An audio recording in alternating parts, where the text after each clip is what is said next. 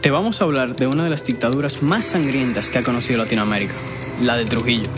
Se instaló durante 31 años en la República Dominicana, causando más de 50.000 víctimas entre personas muertas y desaparecidas. También fue protagonista del más intenso saqueo al Estado que se haya conocido.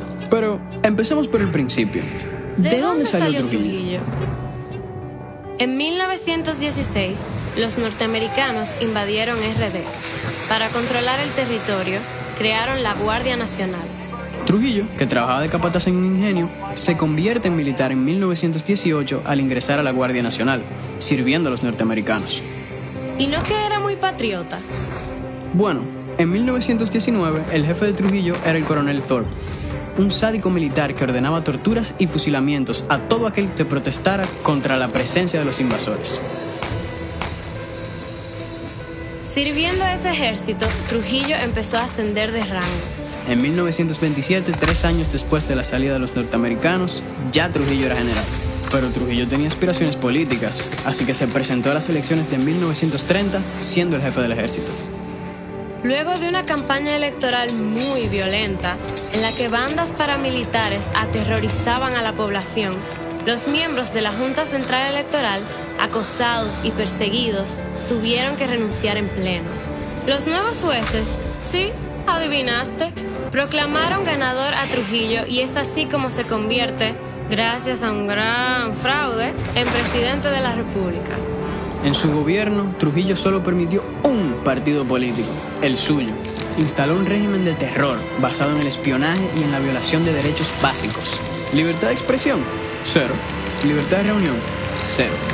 Pero la forma en que logró dominar el país durante 31 años no fue solo el terror de las fuerzas militares, fue básicamente el control económico. Trujillo se hizo dueño de prácticamente todo. ¿Libre competencia? Tampoco. Vamos a ver, Trujillo llegó rico al poder gracias a la corrupción, porque siendo jefe del ejército, cobraba comisiones en la compra de ropas, alimentos y equipos. Con ese dinero se convirtió en industrial y comerciante, y cuando llegó a la presidencia dictó decretos para beneficiarse. Trujillo se adueñó de la producción del país. Fundó empresas monopólicas y hacía que el Congreso dictara leyes que favorecían esas empresas. ¿Cómo así? Por ejemplo, era dueño de la única fábrica de zapatos. Así que hizo que el Congreso dictara una ley prohibiendo que los campesinos anduvieran sin zapatos cuando iban a los pueblos. Todos tenían que comprar zapatos. ¿Quién crees que vendía al Estado las botas de policías y militares? Exactamente. Fundó una compañía de seguros, San Rafael, y promulgó una ley que obligaba a los patronos a asegurar a sus empleados contra accidentes de trabajo. Ya sabes en qué compañía, ¿verdad? Ajá, esa misma.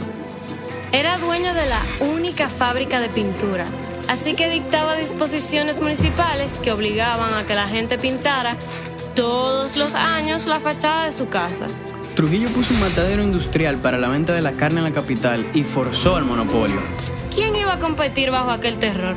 O sea, el hombre se aseguraba de que sus negocios fueran un palo. Pero no solo tenía el monopolio de la carne, también controlaba el negocio de la leche, del arroz, de la sal, el aceite y el azúcar. Así que ponía los precios que él quería. Nadie en RD podía tener una empresa comercial o industrial sin compartir sus ganancias con Trujillo o alguno de sus asociados. Además, vendía sus empresas y tierras al Estado al precio que él ponía. Por ejemplo, en diciembre de 1947 vendió al Banco Central la salinera. Aunque no valía ni 200 mil pesos, el banco la compró en casi 3 millones de pesos. En 1950 se adueñó por la fuerza de varias fincas grandes en Pueblo Viejo de Asua y creó una gran hacienda en la que puso guardias para administrarla. También hacía que los presos trabajaran en sus fincas. El pueblo era muy pobre y casi todos los que tenían un trabajo formal eran empleados públicos. Aprovechando esa situación, Trujillo fundó una empresa prestamista destinada a la compra de los sueldos de los empleados públicos con un descuento de un 5%. Cuando un empleado público necesitaba un préstamo, vendía su sueldo a esta empresa a cambio de una porción del mismo. Increíble, o sea, increíble. Trujillo también tenía el monopolio de los prestamistas. Pero eso no es todo. Los empleados públicos estaban obligados por ley a donar el 5% de su salario al Partido Dominicano. No, no. ¿Al Partido Dominicano? Sí, al único partido que existía, que era el de Trujillo. Los empleados del gobierno tenían que darle una parte de su sueldo. Y por ley, la real dictadura. Trujillo usaba el Congreso como se le antojaba, incluso para sus muy particulares rasgos de megalomanía sin límites.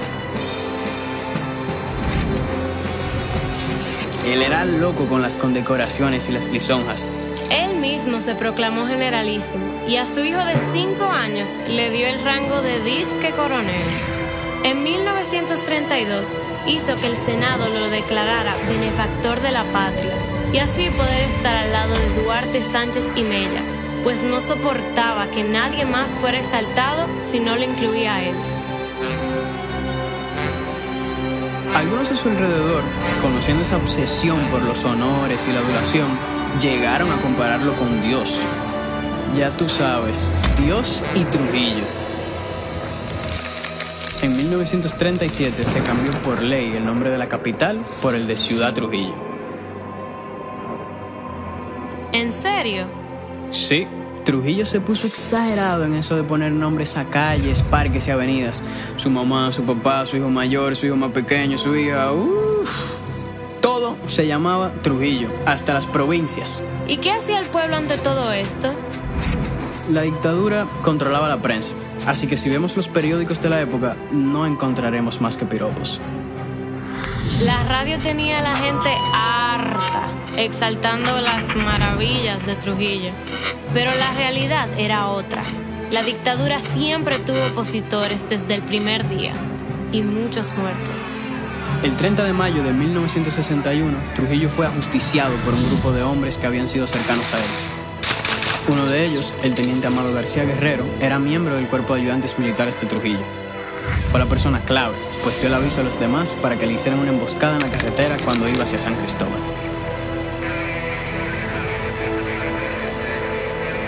¡Por fin! Con el ajusticiamiento de Trujillo, la dictadura no cayó de inmediato. Sus hijos y hermanos intentaron seguir con el control del país, pero el pueblo no se lo permitió. Los seis meses que siguieron al 30 de mayo de 1961 fueron un camino de cambio hacia la democracia en los que el pueblo, como protagonista, se lanzó a las calles a conquistar sus derechos. Luego de una larga noche de 31 años,